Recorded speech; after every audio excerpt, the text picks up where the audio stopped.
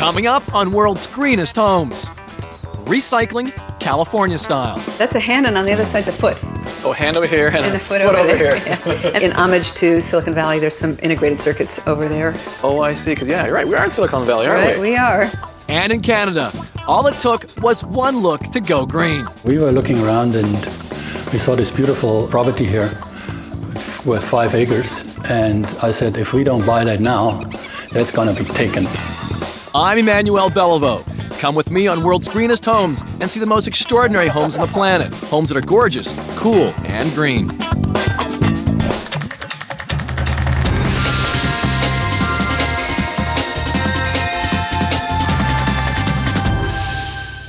Just south of San Francisco is the birthplace of the high tech industry, Silicon Valley. It's here in this garage where William Hewlett and David Packard set up shop in 1938 and began experimenting. From these humble beginnings, the computer revolution began. I'm in Palo Alto, California, in the San Francisco Bay Area. In this tree-lined neighborhood of traditional craftsman-style homes, one designer dared to be different. She went for industrial chic, mixing modern design with personal comfort. She set out to prove you don't have to like granola to be green. Just a few blocks from that old garage where Hewlett Packard set up shop sits this 3,000 square foot home. Ten years ago, it was the site of an abandoned auto body shop. The body shop is gone, and in its place, custom designer Sandra Slater and green builder Drew Moran built this contemporary home. Their own experiment. The main living space is an open concept and has a kitchen, dining space, and a comfortable lounge area. A glass atrium takes you to two guest bedrooms and a guest bath. Up a light filled stairwell to the second and top floor, there's a master bedroom and master bath. Then a laundry room and the fourth bedroom. Hi there. Hi. Emmanuel. I'm Sandra. Nice to meet you, Sandra. Nice I'm to meet Drew. you. Drew, nice to meet you. Nice A to meet pleasure. you. Come on in. Now, this is a grand foyer. Well, it's tall. Yeah, it sure is. How tall is this? This is about 25 feet tall to the roof. Their home is perfectly oriented to capture sunlight. It's part of their passive solar strategy. As long as it's daytime, they never have to turn on any lights. Beautiful water feature. Thanks. It, it really functions in a lot of different ways. One is for looks, one is for the sound. It's really soothing to have the sound of the water. Yeah, I agree. And the third thing really is for cooling. That we don't have air conditioning in the house, it's part of the green program. So we open the windows down here, and the air goes over the water and then helps cool it by venting out through the top. So no AC in this house whatsoever, None. just the cross ventilation Just the cross coming vent. across your water feature, and that's keeping this house cool. And also the siting of the house. Right, the passive solar is what's helping you there Right. too. Passive solar cooling is all about hot air rising. Warm air is naturally drawn outside the house from open windows on the upper level. And it's replaced with cooler air from the windows on the lower level. Passive solar heating uses windows, walls, and floors to collect, store, and distribute the sun's energy. And in the wintertime, how cold does it get here? We're down in the 30s and 40s. I see. And by that time, all the leaves have fallen off the trees, so you're going to get a lot of Right. light coming in, heating the home at that time. Exactly. Oh, that's not so bad. This is a beautiful contemporary space. All the living, the public living, is done in this 800 square foot space. No separate dining rooms, living rooms. In traditional houses, we have living room, dining room, and kitchen, and you end up heating, cleaning, Right. insuring, and mortgaging living rooms that most people don't live in. If each of these rooms were in individual rooms, it would take up so much more space. It could easily be twice as much space. Yeah. How old is the house? You know, it's 10 years old at this point. A lot of things have changed in the market in the last 10 years. A lot. A lot has changed. It's a lot easier to be green these days. We built the house really as a model to show architects and designers what could be done in green building and that you didn't have to sacrifice a wonderful lifestyle to be green. I know you have carpet Yeah. on the floor. Why carpet? Uh, I wanted everybody to be able to sit on the floor. The floors are warm floors so that there's radiant heating and it's really comfortable to lie on the floor. And concrete is not that friendly to lie on. It's also a wool carpet. Yeah, So- it's 100% wool carpet. Unlike nylon, wool is odor free, renewable, and biodegradable. I love your sofas. Thank you. Very nice and loungy looking. Yes, they are very comfortable. You've got a nice area over here. Where you can just sit and, and check out the fireplace, Right. which, by the way, is beautiful. Thank you. What those this? are uh, those are stairs treads from a French schoolhouse, uh, recycled from an 18 I think an 18th century schoolhouse. Or These are treads. Oh, I see. This, is, the, this is the bullnose front here. right. This would be the grip you walk on. right. What a great idea. And they got great texture and a great color, I think. And then I used uh, recycled steel around it on the surround. I just took some sheet metal and sprayed some salt water on it.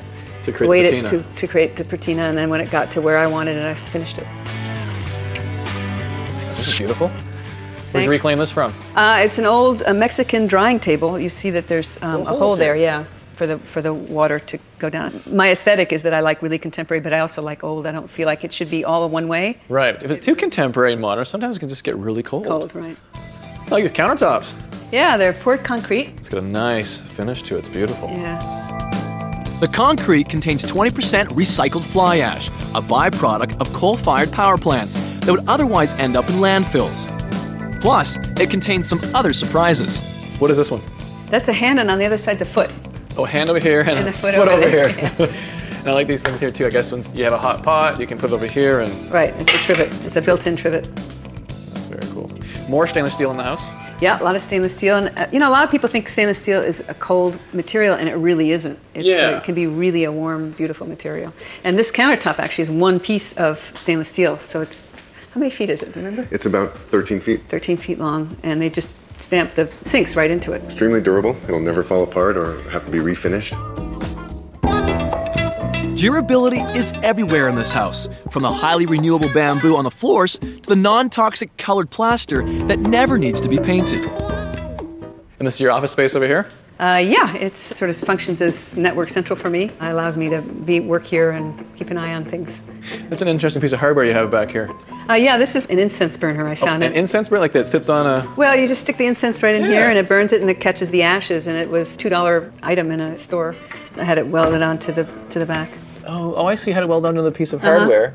Oh, what a creative idea. I just Wanted something a little more unusual. Now we head back past the front entrance to the more private guest bedroom wing with its own guest bathroom. That's beautiful. Sanctus copper. Uh, it's copper. And this is a cool niche you've got here too. Yeah, it's a very very small space in here, but it's uh trying to maximize it so that you've got something of interest in the small space. And this is great. The way you hung this down. Yeah, free floating. And the bathroom leads right into the guest bedroom. I like how you put the windows on both sides of the bed. It helps frame the room, centers it quite nicely. And Drew made the bed. You built this bed? I was a furniture maker at one point. Get out of here. This is great. Yeah, it's a great bed. What kind of wood is this? This is California black walnut. So it was uh, walnut that was salvaged when they were tearing out walnut orchards to build subdivisions in Southern California. Beautiful bed. Thank you. Nicely done. I love it. We've just seen the main open concept living space and the guest bedroom on the first floor. Now it's up to the second level and the master bedroom. Great color. Why purple? I don't know. It's a nice warm color. The round roof. It why, is. why round roof? Why do that? It's an architectural item, but the interesting part about it for us is that it's filled with cellulose insulation, the recycled newspaper, on a fully vaulted, fully curved ceiling. So there's no need for an attic here. Exactly. exactly. And I see you have windows at the top, and I guess that's for cross ventilation once again, for air to go out. Right. So at the lowest point of the house and the highest point of the house, you have the windows that help with the air circulation. And this would be your balcony. Yeah, this is the deck. This house really makes the most of the California sun. Almost every room opens to the outdoors. The outdoors. And we're west facing right now too. We are. It's the hottest part of the house.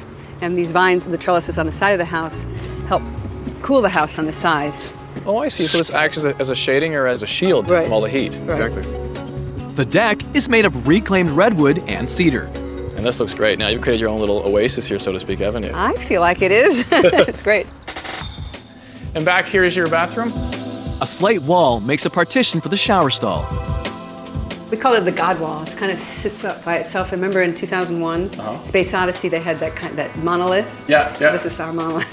I'm assuming these are the closet spaces. Right. This is the closet, which functionally makes this whole area a dressing area. Really.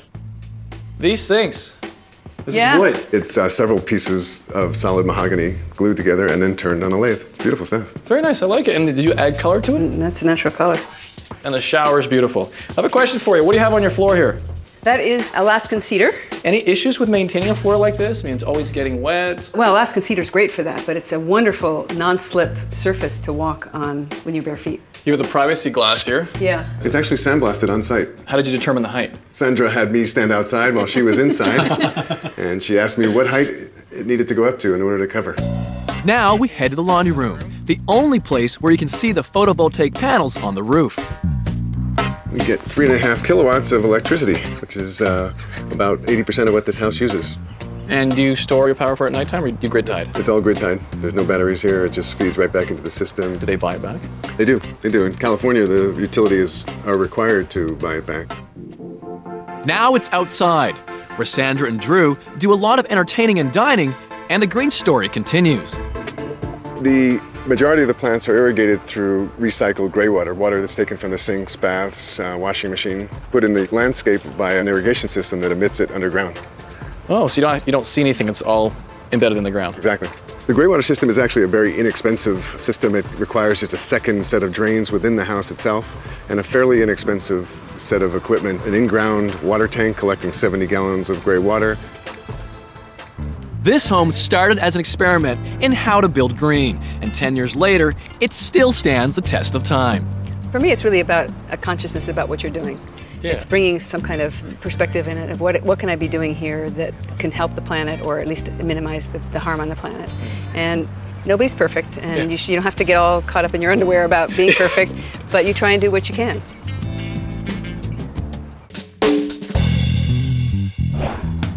Our next homeowners get tired of the city life and dreamed of building their own home in their own piece of paradise. Well, they found the perfect location with some breathtaking views. The goal now was to make sure they didn't spoil it. That meant building green. We're in Summerland, Canada, on the shores of the Okanagan Lake in the Okanagan Valley. This is wine country. Some call it the Napa Valley of the North. This five acre cliffside property, reaching all the way to the lake, practically sold itself. We were looking around and we saw this beautiful property here with five acres. And I said, if we don't buy that now, that's going to be taken. The rare chance to own this tiny piece of paradise and not spoil it was their motivation for going eco friendly. Everything about this home pays homage to the spectacular countryside. Built into the side of a hill, this house is super insulated, energy efficient, and loaded with recycled and reclaimed material. Meet Felicity and Bernd Stahl. Together, they run a pharmacy just outside Summerland. They live here with daughters Astrid and Frances, and their furry friends Sandy and Josie.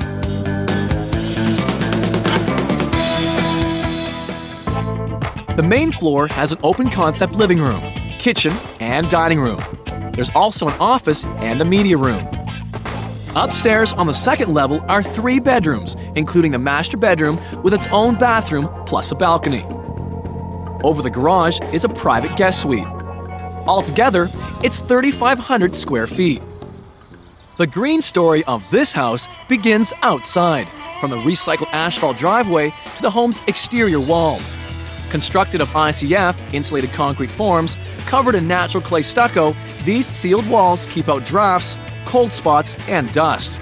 And that cuts their energy bills by 30% compared to a traditionally built, similar sized home. Hi, come on in. Welcome to our home. We decided we'd like the high ceilings, and the foyer goes two stories high. The pendant overhead uses LED lights, light emitting diode. LEDs last 10 times longer and use 95% less energy than typical incandescent lights. The slate was an option instead of tile. I like the look of it. It's easy to maintain. Just wet them up and that's it. And it always looks shiny. That's what appealed to me about the slate, and um, basically got a very good deal on it. so went with this slate, and we've used that throughout the house. Inside the doorway, just to the right, is Bernd's office. This room, like all others, is painted with a low VOC, volatile organic compound paint. VOCs are emitted as gases in some paints, adhesives, and finishes, and may cause adverse health effects. So this is the living room. It's open, it's family friendly. Our suite is actually from Africa, where I grew up in Zimbabwe. And what we've done is we've, we've had it recovered, and it uh, fits in quite nicely here. When you sit here on the couch, you're actually looking right onto the water. Some people sometimes are here and they, they think that you could actually drop off the cliff. That's what it looks like. And I like that. And I, I have my puff, which, They call this a poof. you know, sort of, it's very comfortable to sit on. And it's at a nice height. There's no other one that I find is as good as this. This rug, like all the rugs throughout the house, is made of wool. The carpets, I like them because they're all naturally dyed. Don't seem to have any problem with allergens. Also, with the air quality of the home, is that the dust is just not as big a problem. With this air exchanging system we have in here, the air gets exchanged every two hours. That air exchange system, or HRV, heat recovery ventilation, exhausts stale warm air, which in turn helps to heat the incoming cool fresh air. Though the temperature rarely dips below freezing in the Okanagan Valley, they indulged in a two sided wood burning fireplace, which they use just three or four times a year. We don't need it as a, as a heat store, source, But but, it lends a lovely ambience. With 18 foot ceilings and such a large open space, they went with radiant floor heating on the main floor. We thought we wanted radiant heating because it's nice to be warm on your feet and you can just be barefoot and, and uh, Yeah. it works very efficiently. So this is our kitchen and it's really the heart of the home. We wanted to have a very open kitchen and I thought if I'm going to spend time in the kitchen like I do, I want to have the view. And we put these stools here. Actually, we're talking to each other far more now. We've got a, a lovely wine cellar over there, which Bjorn thought was a bit of overkill at the beginning, but it fits nicely into the space. And you can have dual temperatures. You've got your red wines at the top and your white wines at the bottom. The cabinets and so forth, they're uh, edge grain fir, and we used granite for our countertops. It's very easy to maintain. Felicity uses a simple vinegar and water solution to keep it clean.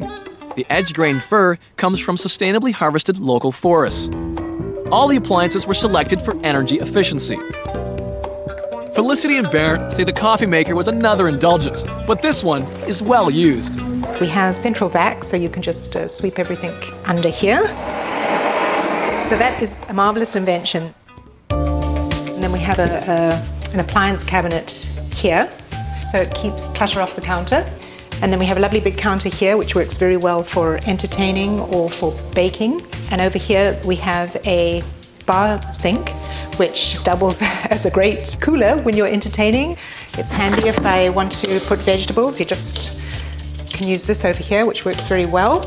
Uh, but mostly we use it uh, uh, when we're entertaining, fill it up with ice, move this out the way, uh, put our beer and pop or whatever else we need in there. That works very well. So over here, this was one of the features I absolutely love. Uh, the two columns, which are structural, uh, these are reclaimed um, fir beams, and um, I think that looks quite nice. It ties in very nice with the edge grain fir of the of the cabinets. We've just seen the living room and kitchen. Just beyond the kitchen is the dining area with a walkout to a patio and those beautiful views overlooking the lake. We don't often eat in the dining room. We tend to eat out here all the time. Yeah. This is just fabulous to sit down and have a glass of wine and, and eat. It's, it's just great. Yeah, Yeah. we live in a fantastic place. On the deck, one of the people who was working for our contractor suggested uh, the stamp concrete. I loved it because it almost looks like the slate. It's very easy to maintain. You can just hose it off. Back inside, there's one more room on the main floor. Felicity and her daughter's favorite room, the media room. We wanted a dark room so that we could watch movies. Bjorn doesn't particularly like the room, so we knew that that would be good. We wouldn't be bothered by him. I don't. I don't. No windows. I don't particularly like rooms without windows. I get a bit claustrophobic. Upstairs is where the family sleeps. And we have uh, Francie's room on the left and Astrid's on the right. Recycled drywall is used throughout the house. All the windows are double glazed, argon filled with a low E or emissivity coating, which retains heat in the winter and coolness in the summer. This is our bedroom, our space. It's very comfortable. We- We've got a beautiful view to the lake from, from the bed, nice and bright, which is something that we both liked, except uh, our first summer here, when Bjorn found that his morning was quite rudely disturbed with the sun hitting him straight in the face. So that bothered me a while for a while, and then we decided to put this on this year actually.